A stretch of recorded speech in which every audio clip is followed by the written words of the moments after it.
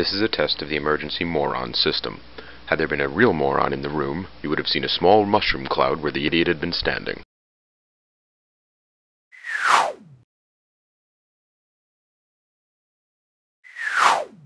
Well, that was certainly a lot better than what we saw in the Champions League midweek, but uh, there's still a problem there. We should have won this game a lot more comfortably than we did.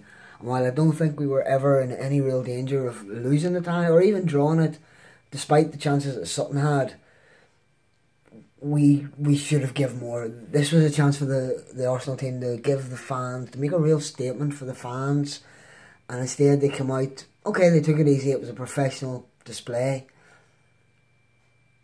But are United going to come out and just put two past Sutton?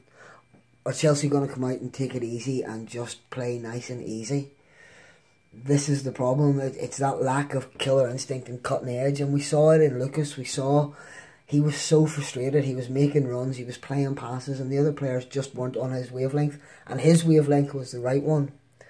Theo Walcott, goal aside, couldn't control the ball. Alex Iwobi's form is in the toilet and should not be starting. How is he starting ahead of the Ox, even if we concede that the Ox in midfield is better than the Ox out wide? The difference the Ox made in the second half when he came on was noticeable as well. He's, Elneny's just not a creative player. He's a functional squad player, and that's great. But alongside Xhaka, we didn't have that creativity. We didn't have somebody picking off the runners. And the Ox brought in a bit of a drive. But he still almost cost us a goal as well with his dicking about on the edge of the box that he does more often than he should. But we're into the hat for the next round. We know it's Lincoln, it's another non league side, and it's a big game for them at the Emirates win that semi final, another trip to Wembley. It can't go wrong, can it?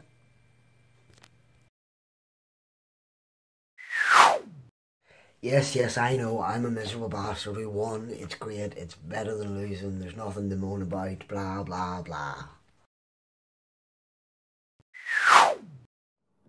Hi, so yeah, we won, yay! Next round of the FA Cup, and that's about all everything good I can say about tonight. I missed the first 10 minutes, but I didn't miss much. Just like I wouldn't miss much if I didn't watch the whole match.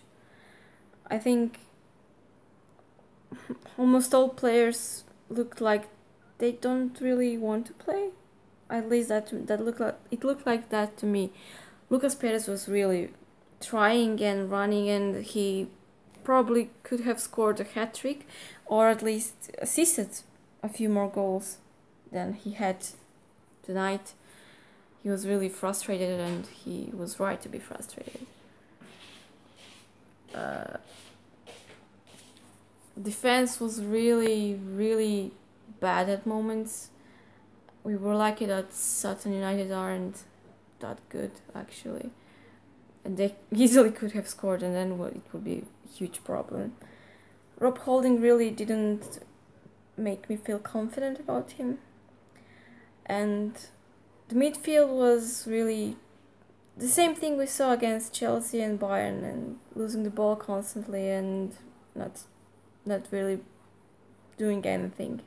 Elneny didn't do much in first half but Ox really changed the game when he came on, as we can, as we saw with his runs and trying to score or assist. Iwobi was probably my biggest disappointment tonight because, I mean, it's not that not some not something new because he was not really really good uh, for like a month or something, but really didn't do anything tonight. So yeah, let's hope that uh, Lenny's injury isn't anything serious and now it's time for some rest for all of us. and yeah, we'll see against Liverpool who will will Lucas Perez prob maybe get a chance. I'm I'm dream I'm a dreamer as always. We'll see. Yay, Lincoln next. Bye. So, Sutton United nil, Arsenal 2. Not a great deal to say about the game. Professional performance from Arsenal, although deeply uninspiring, particularly in central midfield, where Uh, Elneny and Xhaka did not look like a convincing partnership by any stretch of the imagination. Things livened up when the Ox came on. At least he had a lot of energy, even if his final ball was often a little wayward. Um, always interesting to watch players' body language. Lucas looks deeply unhappy. Even when he scored, he looked pissed off. um, but he quite frequently looks like that at the best of times, so I'm not quite sure if that's just his persona. Um, Sutton played pretty well. Nice to see an Arsenal old boy, Roarie Deacon, nearly getting goal of the season, but being kind enough to not quite manage it against us. Uh, apart from what looked like a minor strain for Elneny, no injuries on the plastic pitch, so that's always good. And now a big rest before the big one at Anfield. Um, yeah, that's about it to say, really. At least a, a win gets the team back on track after the cock up in Germany and hopefully uh, they can feel a bit more positive about themselves, knowing that they've got a nice plump home draw in the next round of the FA Cup against another non-league team for which they have to be considered massive favourites. Um, apparently, Arsenal's won the cup every time he's played a non-league team, so maybe that's a good omen. All right. So, 2 0 away at Sutton. Okay result. Not the greatest, to be honest. Uh, clean sheet. Defensively, a few mistakes. Could have been better, obviously. Uh, defenders and Ospina had a few bad moments, but uh, otherwise it was okay. Very disappointing, actually, the way the team still does the pressing. They don't really look organized at all. Going by wave of individual players pressing the ball holders rather than going together as a team and pressing forward, but uh, that's never been one of Wenger's forte, so no surprise over there. In terms of attacking, two goals could have been better. The of the ball movement against the team parking the bus wasn't great at all. You expect more triangles, more moves and stuff, and didn't really happen. So obviously it's an important result after the Bayern defeat, but uh, there's a lot of things to be worked on, and hopefully they will do better at the next game. So it's about 10 minutes after Arsenal have beaten Sutton 2 0 in the FA Cup. Um, I had to go and do my hair to record this video. Um, slightly underwhelmed by the performance, but probably would accept that Arsenal were in a bit of a hiding to nothing tonight. Um, and they probably weren't going to win 8 0, not if we're being re- realistic. Uh, nonetheless, there's a couple of low points tonight. For me personally, I would say Theo Walcott um, found his level tonight, and it's kind of fitting that his 100th goal came against Sutton.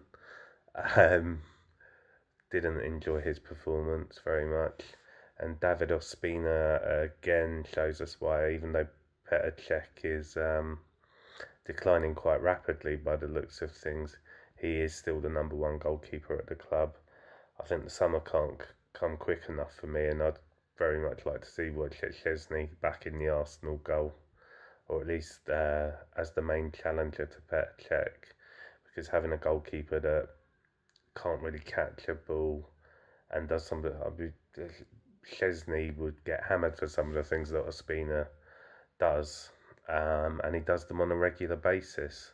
So I don't really see him as a viable number one for the club. Um, I don't think this win's going to keep the Wolves away from the door too much, but Arsene Wenger would have known that before the game. On the plus side, the Ox I thought was very good. Lucas Perez, really good. I love that his goal where Theo gets an inadvertent assist trying to backheel a ball um, and missing it totally.